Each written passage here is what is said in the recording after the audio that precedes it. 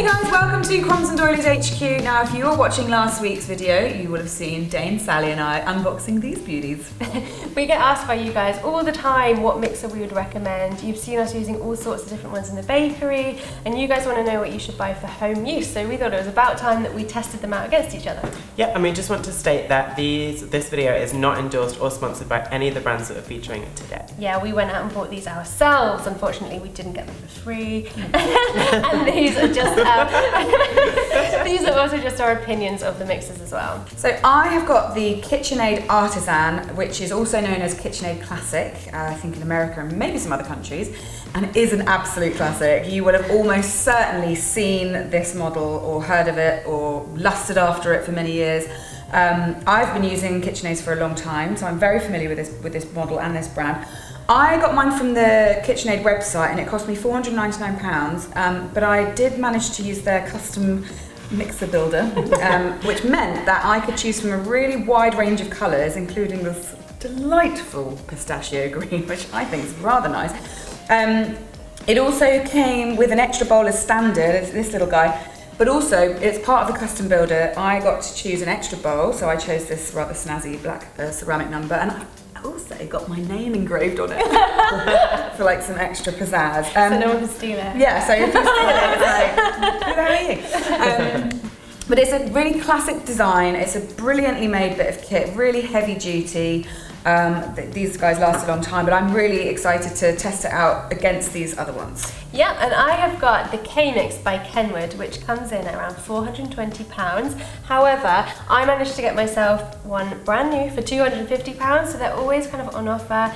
Um, so before you kind of commit to buying, just have a little look around the internet and make sure you're getting the best deal. It's another kind of take on the classic design. It's not quite as classic as the KitchenAid, but I think it's still pretty cute. Yeah. Um, and it does, you can get this in other colours as well, like nowhere near as extensive range as the KitchenAid. You can get it in kind of red and black as well as kind of bronze, um, which I'm personally not super keen on. Like I love these kind of tones, they're very kind of modern um, and it's mine. Instagrammable, um, which okay, it's yours. Uh, which is why I went for the white one because it's kind of neutral and would fit with kind of any kitchen decor. Mm -hmm. um, it's nice and sturdy. Again, like Jemma's, it's about 11 kilos. So it's a good bit of kit, and we've used these for years. I have one at home. Um, it hasn't broken down yet. um, they've got like kind of warranties and whatnot on them. As standard, it comes with this glass bowl. We'll talk a little bit about that later. Um, but you can get stainless steel if that is your thing. Um, but in general, you know, Kenwood is a, a really kind of well-known good brand like KitchenAid, so I'm pretty confident about this. and well, mine is not so much well known. I've got the Aucma, it's from Amazon and it's $79.99, so really cheap compared to you guys' mixers. Um, it's not quite as sleek and chic as theirs. It comes in two other colours, but I quite like this pastel It's a nice shade. Yeah, mm. pastel blue tone. Um, it comes with a bigger bowl than your two mixers, so wowzers. suckers to you. More in my bowl. We're all about the bowl so competitive. I thought this was going to be friendly. yeah, right, okay well, either way, it's got two handles, which is quite useful, but I think we'll maybe find out that if you're holding it with one hand, it might be a bit difficult to pour the mixtures out or whatnot. Um, it comes with the same attachments as the KitchenAid and the Kenwood. And yeah, I mean, it's a bit of plastic fantastic, but it's not metal like your mixers. So it's a lot lighter, which is a bonus. Um, it's easier to move around, but yeah, I'm pretty excited to see how it holds up. Yeah, I think we're all kind of looking Intrigued. forward to seeing how this one goes, yeah. to be honest. So we're going to be testing these mixes on a variety of different levels, um, starting with the attachments, so what comes with it, uh, what you can add to it, how good the attachments are. We're also going to look at the speed, so how fast the fastest speed is and how slow the slowest one is. And we're going to look at the mixing action, which is pretty important. You want to know how well these mixes are going to combine the ingredients. Yep, and we're also going to look at the power of the um, machines as well, how capable they are of mixing really heavy doughs. And also general usability, so how easy they are to like maneuver, function, and how good they are in the kitchen. Yep, and the overall quality of the machines too, how well they stand up over the test of time. Yeah, so without further ado, let's look at the attachments. Okay, so as standard, all of the three mixers come with three classic attachments. You've got the paddle, which is great for beating. It's probably what you've seen us use in pretty much every single video.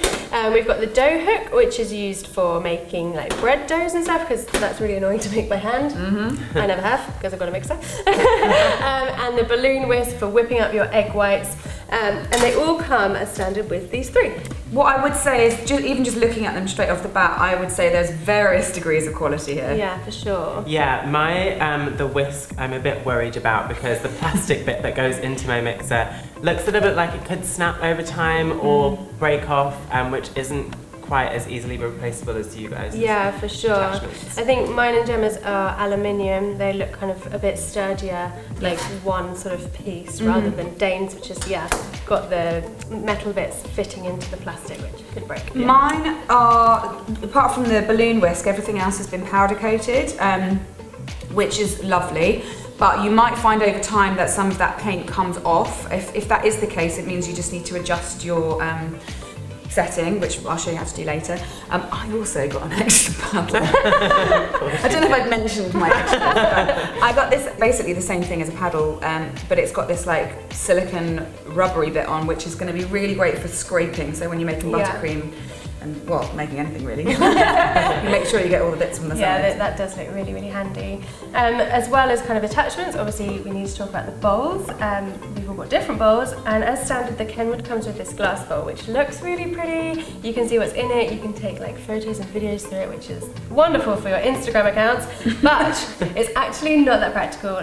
For a starter, it's really, really heavy, and this hasn't even got any batter in it. Um, and the whole point in having this handle, like Jemma's got the same, the vertical handles, is that you can hold it and kind of scrape out or, you know, stir um, with it in your hand, but not that much use if it's like, you know, you can't hold it with one arm because, yeah, it's really, really heavy. The other thing about it is that because it's glass, it needs this kind of plastic kind of ring thingy that slots into the machine, which it's plastic, it can break, I personally have had one that's broken in the past, so it's just not ideal. Um, and talking about breaking, if you drop this, it's broken, right? It's glass. you Any second chances? don't. You're gonna get glass everywhere. Um, so I mean, in a professional bakery, we would never use anything other than a stainless steel bowl, and you can get a stainless steel one from uh, for the Kenwood. Um, the bit that it fits into on the mixer itself is really sturdy. It is made of metal, so no worries there. Um, just, I personally wouldn't recommend the glass bowl. Um, I would recommend my bowl. It's stainless steel. it's a lot lighter, um, although the bit that it fits into is all made of one piece. And because my machine is plastic, um, one of these little nodule bits could break and snap off, and so you'd have to replace the whole machine. Um, but the bowl's really light. It's got two handles, one on either side. Um, which could be a little bit of a problem if you want to tip up your mixture and scrape it out with the other hand, um, but we'll see how that goes. And also, stainless steel I feel like is easier to clean, it doesn't hold onto grease as well as glass. Yeah, for sure. You can kind of chuck it around a bit more, put it in the dishwasher. Yeah. Yeah. Well, I have a variety of bowls at my disposal here. So, as standard, this guy comes with the stainless steel bowl, like um, like Dane's, and like Sally's one, it's got the vertical handle, which is ooh, super handy, uh, and especially with it being so light. Yeah. I can easily scoop out my batter, so that's great. Uh, this model also comes with a smaller bowl, which I uh, have never seen before, so I'm quite um, like, in love with it. yeah, no, it's cute, Um, but maybe. But it's, it's, I don't know if it's that much use because um, it hasn't got a handle, it's small, but it is you, always useful to have extra bowls because that means you don't have to like wash up so much in between. Yeah. Or if you're doing like coloured batter, like splitting Yeah. your batter and stuff. It's, Exactly, to have more or different components for recipes. Yeah. Uh, but obviously, I don't know if I mentioned, but I have three bowls uh, because I did the online custom builder. So I went for this uh, rather chic little Yeah, number, black ceramic. My only concern with this, apart from the fact that it's heavy like your glass bowl, is that I almost certainly will break this very Yeah. soon. So this is probably display only. looks nice in your kitchen. Um, the other thing about the Kenwood and the KitchenAid is that you can get a whole heap of extra attachments. So they both have this kind of hatch at the front here, and you can fit in things like pasta rollers, sausage makers, whatever a sausage maker is, like the KitchenAid, you can even get like an ice cream machine. Yeah. So if Yeah. like space is value to you, you don't need a million different appliances. You can do it all through the one. I mean, bougie attachments, but I don't have this cool thing at the front, so I won't be making any sausages. But um, I mean, if you just want to make your cakes and cookies, it's pretty alright. Yeah, which is what we're going to be testing these on. Yeah. So that's all the attachments. Let's move on to speed. So my KitchenAid has 10 whole speeds, which I think is the most. Um, and there's a really reassuring notch between each one. And mine has got six speeds and it's on this nice round dial here. It's not got graduated steps like Jemma's, it's really nice and smooth, which I actually really like because it means it's all really nice and gradual from one to the next.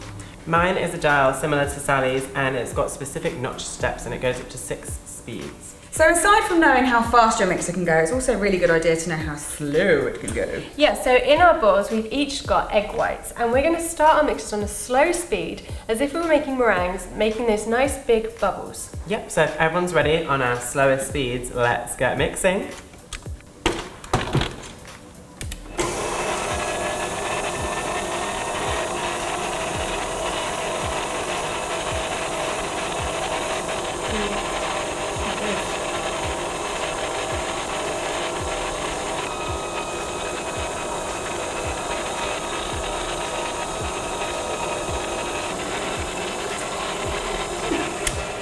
Well, Sally, I think yours is definitely the slowest. Mine and Dane seem a little bit faster. Yeah. Yeah, mine, my kind of bubbles look a little bit bigger, which means they've had more time to kind of break down, which is perfect. But now we need to test out the fastest speed. So let's whip these um, egg whites up till we get nice stiff peaks. Yep, it's a race to the peaks, let's go! Okay, here we go. Turn them up.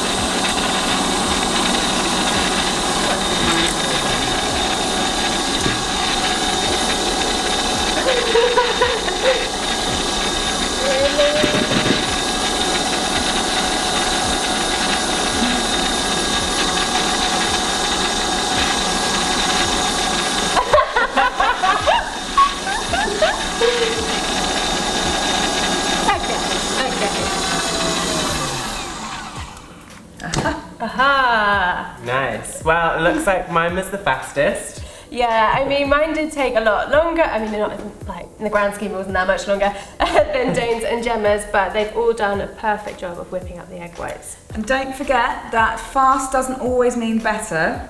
Hmm. so sorry, Dane.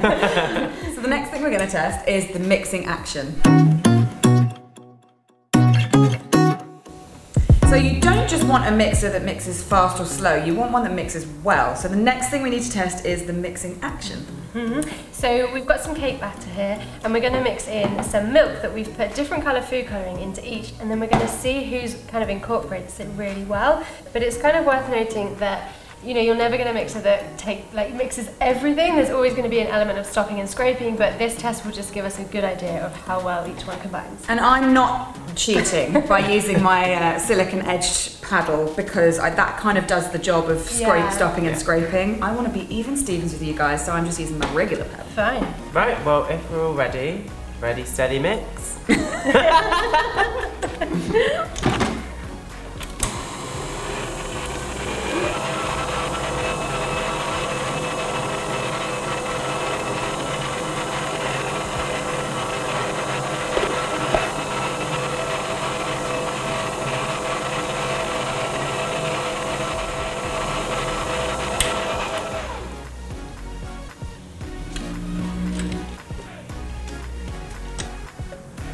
Well, I think there is a clear winner, guys. I'm not gonna lie, it's me. Yeah, yours is definitely incorporated at the base. It's kind of all nice and even. Whereas mine, you know, the middle looks nice, but the outside's got quite a lot of colour, and obviously you can see that mine's not fully incorporated. Yeah, and in mine, when you lift the head up, you can straight away see that there's an incorporated colour in the middle of the batter. It's just Yeah. all the colours around the sides, isn't it? Yeah, pretty much. Yeah. But like even the best mixer, not gonna whose it is yet, but will need a little scrape. So even this one, while it's done the best job at incorporating the green, it still does need a little bit of help. Yeah, it's not. It's clearly not as bad as mine. Like you don't even need me to scrape this to see that mine around the edge is completely kind of white still. And mm, Dana, you yeah, don't need and to um, do. yeah, I, mean, I think mine's pretty much the same. Also, it's just all white batter Yeah. at the bottom. Oh yeah. Yeah. So Jemma's has definitely won this test. It's all like the, it's the most even out of all of them, but they've all kind of worked. It just means that these two we're going to have to give them an extra little stop and scrape as we go. Yeah. So the next thing we need to test is power. Bring it up. So one of the things that mixers are really useful for is mixing large amounts of really heavy dough, things that would be too hard to do with a bowl and a wooden spoon and beyond the capabilities of a hand whisk. Yep, so we've whipped up three batches of our NYC cookie dough, and it's a really, really heavy dough of about 1.5 kilograms. And we're all going to use the paddle beater and a medium speed. And just for you guys, we're going to do this one at a time so you can kind of hear um, the noise that the mixers make and get an, an idea of how well they're coping as well. so I'm going to start with my one. I'm the boss. Here goes.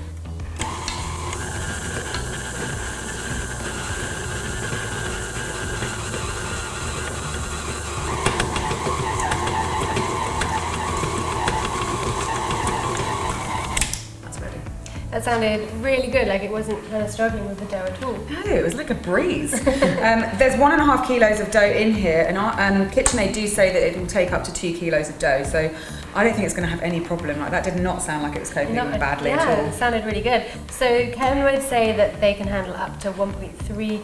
So we are kind of pushing this over a bit with an extra 200 grams of dough. So it could be on the edge, and we'll just see how it goes.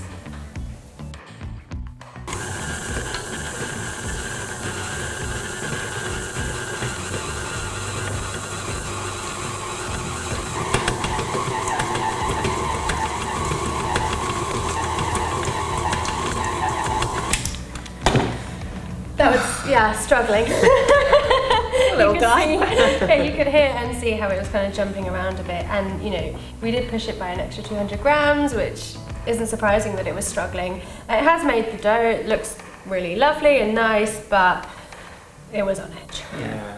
well, with a lighter body uh, that is mine, I'm going to try mine out and see how it fares. Um, Aucma doesn't give any specifications on the capacity of dough that it can hold, um, so we'll just have to wait and Yeah. see. I mean, you've got a bigger bowl, which Um, is hopeful. yeah. but, Let's see. Yeah, about, about that big bowl again. exactly.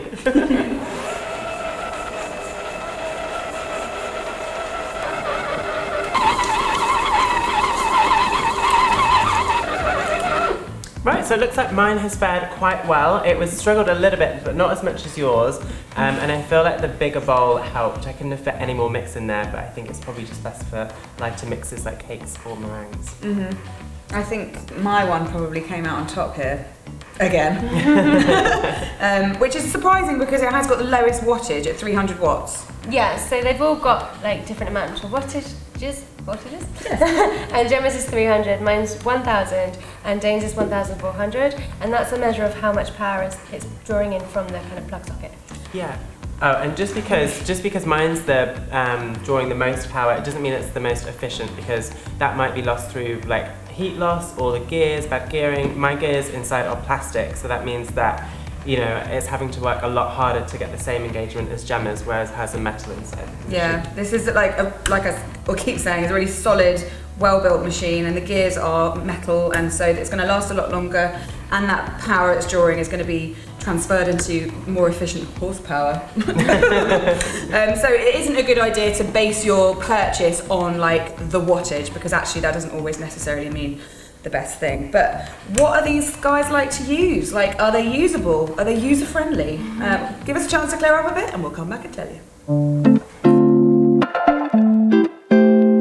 So we've looked at how well these guys work, but what do they like to work with? They all kind of have similar controls and stuff, but there are a few subtle differences, so which one you prefer might just come down to per personal preference. Um, we're going to start by looking at the way that the head lifts up. So on the KitchenAid, the lever for this is on the opposite side to the control, so over here. Um, which is fine, but it does feel a little bit awkward for me. It's a very heavy head as well, um, which is good for the mechanism of it, but my natural sort of position would be to have the control here and then lift up with my other hand, a little bit like your one. We'll get to that in a minute. um, so I'd, yeah, I'd find that a little bit awkward, um, but it's all right. The attachments go on uh, really sort of straightforward. There's like a little notch in the middle, and you just kind of put it on and twist it. And then once they're on, they feel really sturdy. And they still feel really sturdy when there's a big bowl of dough, as we've discovered. Um, so that's pretty good. Oh, hello. Um, the bowl itself is also really easy to kind of come on and off. And like we talked about earlier, because it's a stainless steel bowl with a stainless steel sort of insert bit where it locks on, that is going to take quite a bit of pummeling. Yeah, yeah. say. Turning them on and off, I personally wish that there was a slightly slower speed, like like yours, because I think when you're folding delicate doughs and stuff, like a lot of the time you would do it by hand, but it's nice to have the option to Yeah, do it by the mixer. And the first speed on this one is actually quite fast compared to yours. um, another thing I should say, and I'll demonstrate it, is that you can actually lift this up while it's on, which I'm not sure why that is a design feature. Because if if my mixer was up like this and I just you know spent a couple of minutes mixing some batter and then accidentally go like that, I mean that batter's gonna be all over me and you and the camera, just everything. Um, so that's an odd feature that I don't quite know why it's there, and I think yours Yeah. yours has a cut off. It, Yeah. Yeah, I've also got doesn't like a safety thing where if the head's up, it just will. Yeah, which is probably quite sensible, especially when you're clumsy like me. Um, and the last thing to say about it is it's a really heavy, well-built machine. It's a classic bit of American engineering. Good on you guys. Um, which does mean that it mean it- it's not sort of quite easy to like yeah. move around. So if this is not going to live on your counter, then getting it in and out of cupboards or shelves is going to be quite. I mean, because it is Yeah. um, but it is also magnificent looking. I think we can all agree, especially when you have your name on it and your pistachio colour. so the chances are you're going to be so proud to have this on your counter. It's going to live there, so there's not going to be much moving around. So personally, I think this is a great machine, really solid, really performs super well. They last a long time.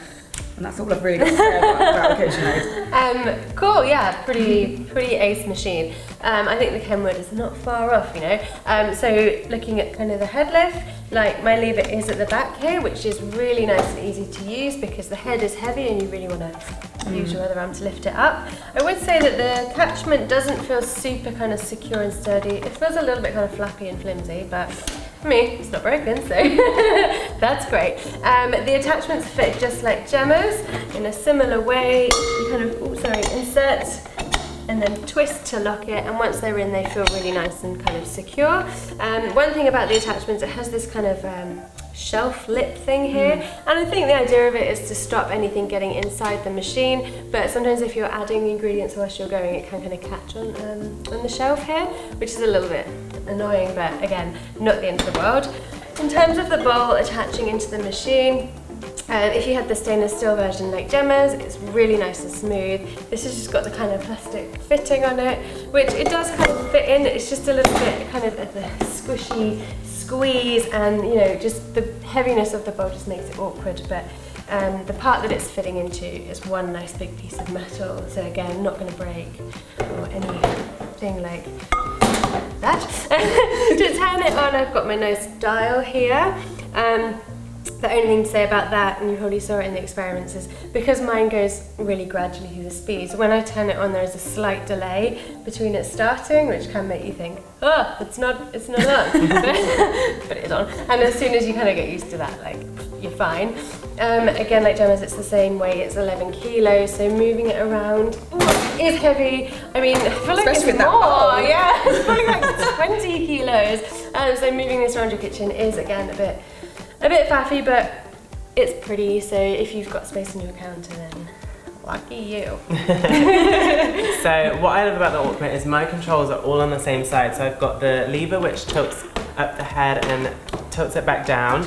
Um, it's really easy, you just tilt it down to, to lift up and back the other way. Um, the speed dials on this are um, similar to yours. Um, you turn them around and then it's a nice gradual um, movement to the next speed, which is good. It's also got a pulse feature, which is unusual. You guys don't have that, but um, yeah, no, that's useful. Sometimes you have them on like uh, food processors and it's just a little like, yeah. like yeah, um, and also my attachments, they pretty much attach the same as yours. So um, they have the little notch in there. You put it up and then twist it to lock in. And when they're in, they also feel- pretty sturdy. They don't feel like they're gonna come out whilst your mixture is mixing in there. Um, turning it on and off, we spoke about that with the dial. It's pretty good. And moving it around, mine has got the, uh, it's got the suckers on the bottom, which is kind of annoying sometimes because to lift it up, it's a bit of a struggle. But it does mean that when you're mixing, it's not really going to go anywhere. Yeah, um, I think which because is yours good. is lighter as well. like, Yeah. if it didn't have those suckers, it probably would jump Oh, around. it would so slide right off the counter. as suckery as the suckers are, They're to pretty useful. they're pretty useful. I- Yeah. I, find them quite pleasing when you the sound of them. And yeah, because you said it because like it's light, you can move it on and off the countertop as and when you wish, if you need to store it somewhere.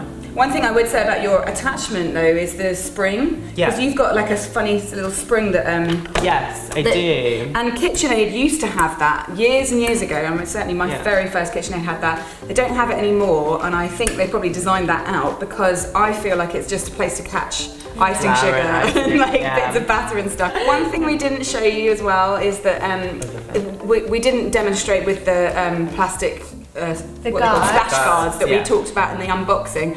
Um, but Dane's one, Dane's one without the plastic guard when It was- making when making icing in particular because obviously icing Yeah. sugar is incredibly fine and it has these air vents so when you turn it on air comes out and there was a lot of icing sugar Went blowing. everywhere. But with the with the guard on it was absolutely fine. Because the guard fits really nice and snug. But I think with the vents it kind of helps because my mixer doesn't get very Mm-hmm. hot, which is good. It Yeah, cools it down. Especially as it's plastic, I guess you don't really want it getting Oh, too yeah. hot. Dane. so that's the usability. Yeah. And now we need to go on to quality. Yeah.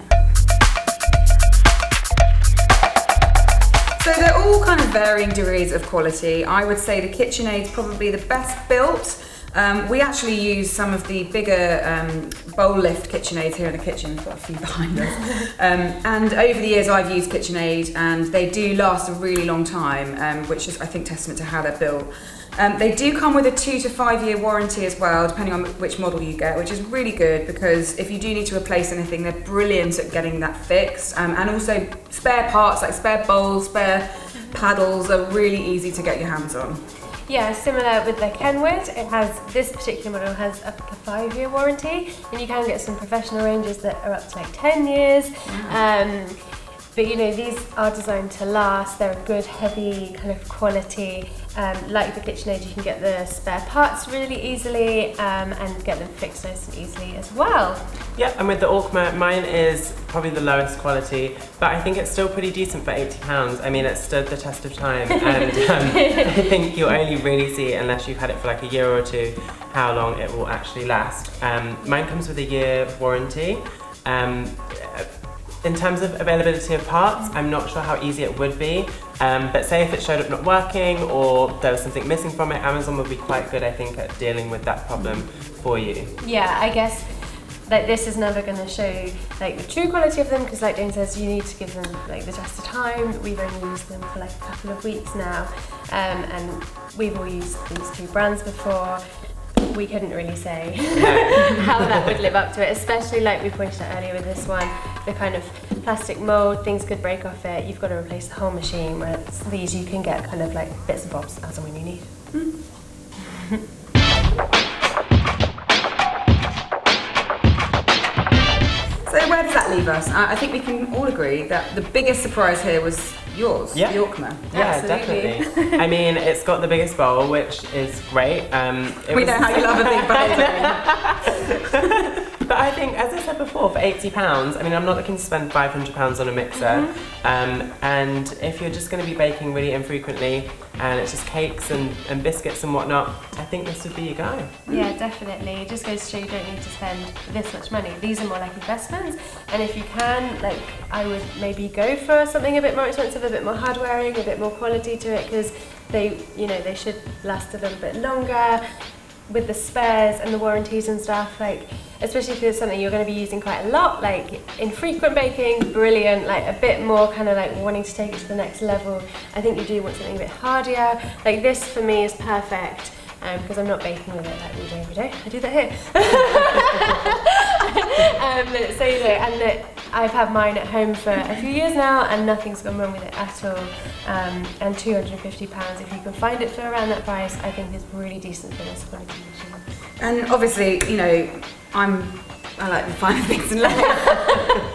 um, so you know, five hundred pounds is a massive, massive investment, and it, you, you know, you really do need to think about how much you're going to be using the machine at that much money, unless you, you know, you've just got money.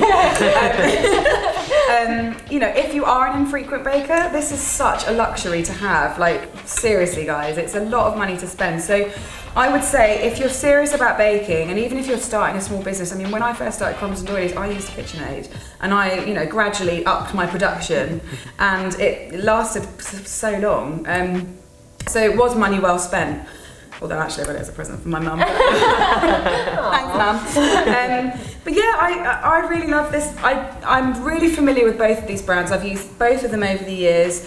Um, I am super surprised by that. I think that is a really great entry level mixer. Yeah. This is like the intermediate, and this is like the gold standard. Yeah, yeah. Um, especially when you go for all the extra Yeah, bits like you I are did. kind of paying for that extra. Like Yeah. it's not just the quality of the machine, but you know you do get the extra two bowls, you get the extra kind of paddle and stuff. Like it's not like you're not getting a bit more for your money. Like you Yeah. absolutely are. Absolutely. Yeah. So, you know, there's something for everyone here. And obviously, these aren't the only things available in the world. Like, go out and do your research. Obviously, this was the first place to, to, start with your research. Um, but if, you know, if you're somewhere where there's loads of other different models available, then check it out, read people's reviews because. Uh, like just make sure you read reviews basically don't just kind of go on like looks or Yeah, like for how much it is it's really important to see how other people have fared with these things um, and if there's anything that you think we've missed, um, if you've got any questions about each of these, then please let us know in the comments box below. Yeah. Or- Or if you've kind of used any of them and you've got things that you want to kind of point out about Oh, them yeah. too, like we'd totally be up for seeing those. Yeah. And like Joe said, don't just buy the one that looks the prettiest because it doesn't always mean it's going to be the best. I think. No. Yeah, and equally, if there's anything else you'd like us to review in the future, please let us know in the comments below. Yeah. So watch that space. we'll be back next week with another video, so we will see you then. In the meantime, please let us know how you felt about this review video because Yeah. we've never done one before. We hope it's been a great help to you, and we hope it helps you make the right decision and off embarking on your baking careers. Yeah, definitely. and you know, just to kind of reiterate, we paid for all of these ourselves, and no cake mix went in the bin.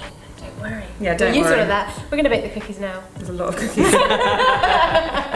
Fine by me. exactly. That's kind of the only reason I did this review was to eat the cookies. We'll see you next time. Bye.